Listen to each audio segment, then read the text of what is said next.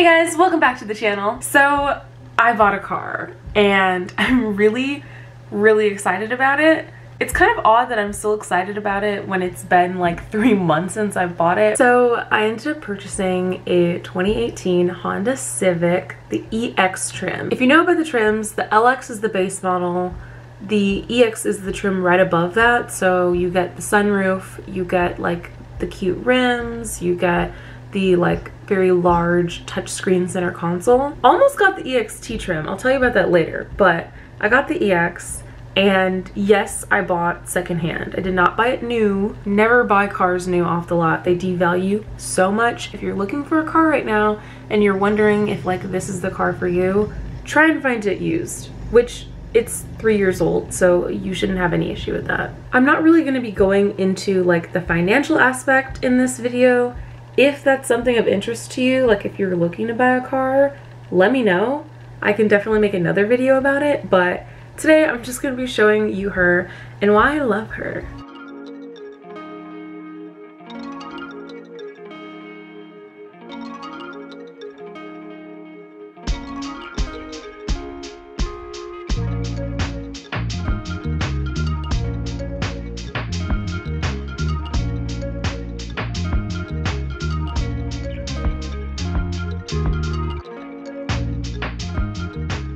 I'm outside the car now and I want to show you guys some safety features that really sold me on this car.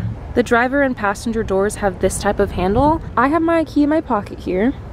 I'm not going to take the key out. I'm not going to press the unlock button on the key. I'm just going to put my hand on the inside of the door. And it unlocks the car. I really love this feature because if you're alone and you don't want all of the doors to unlock, it only unlocks the front door. So I can't get in in any other door. And to lock it, you're just gonna press the button. And it's locked. Now we're on the passenger side, and as you can see, there's no like keyhole to unlock the door from this side, but there is still the button to lock the car. If you use the hands-free unlock feature with the passenger door, it unlocks every door in your car. So if you only want one door to open, you'd need to go from the driver's side, but that's a little thing I had to find out on my own. And your passenger side mirror actually has this little projection here. I don't know if you can tell, but that is a camera. So every time you turn your right blinker on, you can see to the right of you. That feature is absent on the left side, but the left side is closest to you, so it should be the side that you could see the easiest. These headlights are always on. You can never turn them off. They're daytime like running LEDs. They're on even though I have it set to the off switch in my car. They never turn off. What you just heard right now was another safety feature. So if your car is on or even the battery's on and you leave with the key in your pocket, it's gonna beep and let you know that you're dumb and you need to go back inside. Here's the key. And with this key, you can remote start it. So I'm gonna lock the car and then I'm gonna hold this down for five seconds.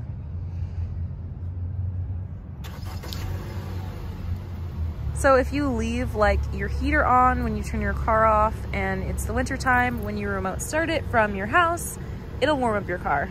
On the back of your key, there's a little button that if you slide this, your mechanical key pops out so if your automatic like unlock feature doesn't work, you can just use this guy to get in. If you want to pump gas, you would normally just press this, but the car is locked, so it's not going to open. So first I unlock the car and now it opens. It is capless, so you don't have to unscrew anything to pump gas. You literally just put the nozzle in there and then pull it out when you're done. And to close it, you just press it in.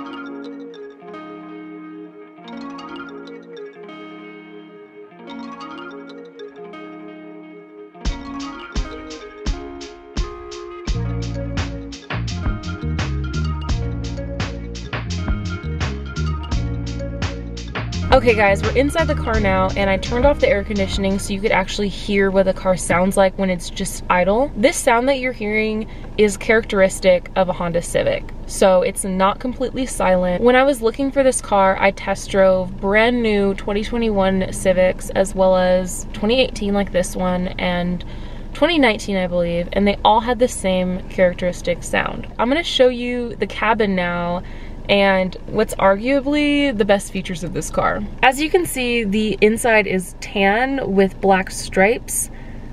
I don't love this. I was actually looking for black or gray interior just because I felt like it looked better and it didn't show stains as much, which you will see some stains in this car. I did buy it secondhand. It was a rental car before, so it has some scuffs, it has some bangs.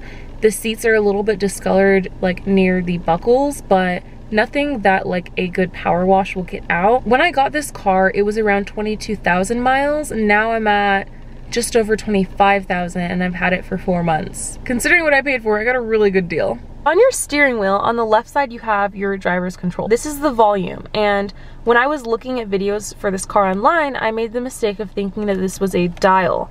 You cannot just slide it to change the volume. You have to physically press it up and down and you'll see in the middle where that changes. This guy is your information button. So if I press that, some menu options will pop up. So that's gas, maintenance, music, phone, and that's if you want nothing shown on the screen. I always keep it on the gas. Whoops because I want to know how much gas I have left. So it tells you your range and it tells you your average fuel economy. It also tells you the temperature and the time. I really wanted an electronic display like this. It can show you real time what your speed is instead of you guessing on a gauge. Left of that is the temperature gauge for your engine as well as the red indicator that shows I'm not wearing a seatbelt and on the right is your gas. So I actually went to Costco gas yesterday and I filled her up. So she is nice and bright blue. On the right side, you just have your standard cruise control settings.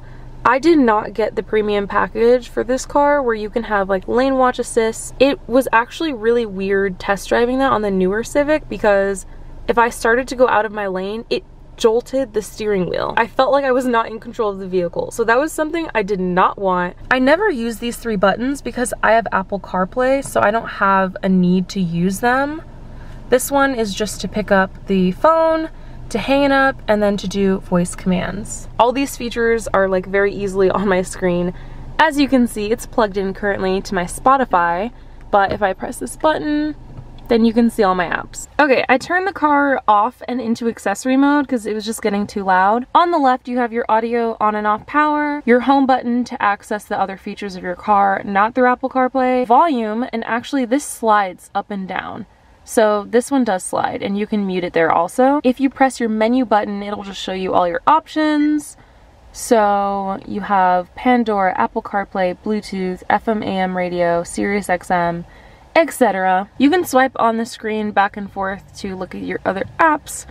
I'm not going to go to the leftmost screen because it'll show you my address and my route home, but it'll automatically map things like that for you. Right below that is your climate control center. This right here is your on and off power button. So it's on now, and once it's on, this dial here will show you the temperature up and down. This button right here is to keep the air circulating just inside the car. If you have the air on, you'll probably want to use this so outside air doesn't readily come in. If you have your windows down or if you just want some fresh air circulation, it'll bring in air from the outside as well. And then you have your front and your rear defrosters. I keep my phone just in this center console here because it actually has room for your cord to feed through. It goes in via a USB and on the right side, you have your standard like cigarette plug where you can plug in extra outlets. Right here, you have your electronic gear shift. I really love this car because it has a sport mode. That's the S on there and it's just very sleek and minimal in my opinion. On the right side you have your econ mode so if you press this button it'll actually stretch your gas out further so if you're low on gas press this. One thing to note it will also turn down your air conditioning and like use of other non-essential accessories. On the left side you have your brake hold and your electronic parking brake. This is pretty straightforward. You just put your foot on the brake and hold it up to set it and then put your foot on the brake and press it down to release it. The brake hold is a really interesting feature that really, really sold me on this car. If you're in stop and go traffic or if you're in a drive through and you don't want to keep your foot on the brake, press the brake hold once you're at zero miles per hour and it will hold the brake for you. That way you don't have to keep your feet on the brake, you can kind of relax a little bit. I would not recommend using it if you're not in like stop and go traffic or a drive-through situation because it's kind of jarring when you're trying to slowly scoot forward or something, like if you're coming out of a driveway and your car won't move at all. That's just my opinion. I wouldn't use it if I wasn't in those two situations. And then in the center, you have your center console that is a little beat up to be honest. Again, it's a used car. It's not going to be perfect. If I pull this up, I have some extra storage here. Right now, there's just my extra battery that's dead. On the right side, you have a bunch of extra storage down there. And if you scoot this down, you can see an extra cup holder. Arguably the most exciting feature of this car and something I told myself I would not go without, I had to have this feature. The sunroof. She's closed right now, but to open her, I would just push this forward and it takes back the covering as well. To close her, I just press this button forward. As you can see, she's tinted compared to my other windows, which is nice because if I just want to see what's above me, you know, just have a little little bit of sunlight, it's not as harsh as what would come through my side windows. If you want to tilt her open a little bit, just press the button up. And she tilts like that. To close it, you would do the same thing as if it was fully open. You would just press it forward and it closes. This does not close with it. You have to close this manually, but to open it, it would open automatically. Hello there. How are you? On both the driver and passenger vanities, they're lighted like this, which I think is nice. There's also a light back here for your backseat passengers. On the driver's side, you have your front two automatic windows. So if I pressed it down, it would go automatically all the way down. And if I pulled it up, it would automatically come all the way up. Then you have your window lock. So no one can open their windows except for me and your lock and unlock buttons. This guy is just to change the position of the side mirror. So I change it to left and I can move it electronically. To keep it from moving, I just press it in the middle. The seats in this car are not automatic. I did not get the upgraded automatic seats. This is standard with the EX trim. So if you want automatic seats, if that's important to you, this car won't have it in this trim, but honestly, I'm the only one that drives my car. It's in my name. So I didn't really see the value of getting automatic seats. On the inside of the door, you have your abundance of napkins as well as your trunk button. And this is the trunk space. It's not completely empty, but I think you can see how spacious it is. The trunk is not automatic when you go to open it. It literally just pops like an inch and then you have to physically lift it. So that's a little bit annoying, but other than that, you're getting a lot of space back here. I have the characteristic like Civic mat in here. If you pull this up and you pull the like felt up, you have your spare tire and your kit. If you're purchasing a car secondhand, make sure this is in your car. Make sure that nothing is missing and that everything that should be in here is in here. As I mentioned before, there were some not so perfect things about this car. With the tan seats, this like black has actually rubbed off on the seat and honestly, it's gotten worse with time. It wasn't this bad when I first bought the car, but now it's really, really dark and I'm really gonna need to shampoo that out before it gets any worse.